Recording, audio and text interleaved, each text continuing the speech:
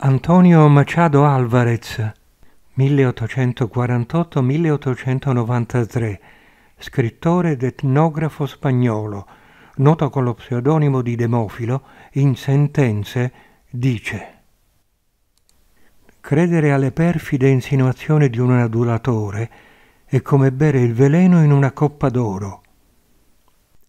Commento.